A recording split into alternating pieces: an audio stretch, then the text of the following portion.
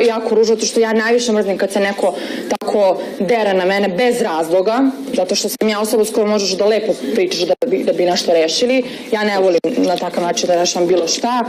Ovaj, e, samo kada lepo razgovaraš možemo da rešimo, kada se deraš mo- možemo samo, samo bude još gore, ništa, ništa ne može da se reši.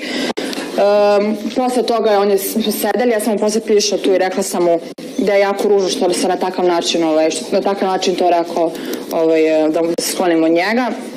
I opet smo počeli da pričamo, Zorana je još bila pored nas, on je opet počeo da priča sa mnom, ali tako da ceo sto opet čuje šta on Se priča. skloniš od mene? Ne, ne, ne, to kad, se, kad sam glavu uhvatila pa si ti sklonio od mene. Bilo si histerična, ali dobro. Da, ovaj, da pričamo. Ja sam znao da je slobo.